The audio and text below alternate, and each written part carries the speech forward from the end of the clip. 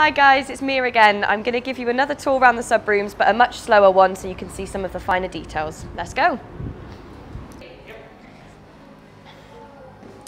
First, we will go into our lovely box office. Here we have an original Top of the Pops sign from the studios back in the 70s. We've got the Kingfisher from the Kingfisher Trail around the Cotswolds, and we've got our wonderful James, our box office supervisor, over in the hot pink corner. Here as well, we sell some merch for People's Republic of Stroud, Clay, and we also sell Stroud Brewery merch as well, um, and some Beatles posters who played here twice in 1962.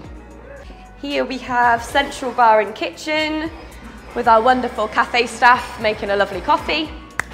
Um, here we sell bagels, ciabattas, loads of lovely fresh food, and the menu will be expanding. We're going to have lots of live gigs over in the corner, some DJ nights, some open mic nights, yeah, all sorts of lovely stuff going on in here in the evenings.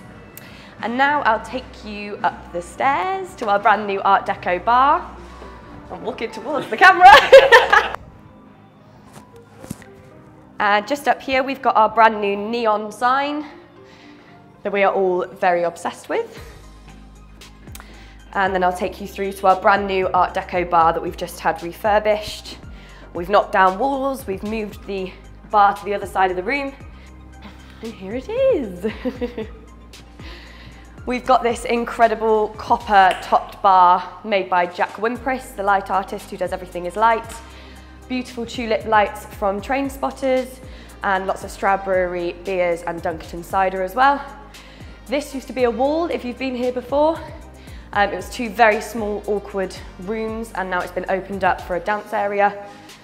We've got a fab sound system as well, so anything that's going on in the ballroom you can come and enjoy whilst you grab your pint and head back to your seat or stand or whatever you're doing. Um, yeah, this, is the, this is the new bar. Um, thank you for coming on a tour and hope to welcome you here soon.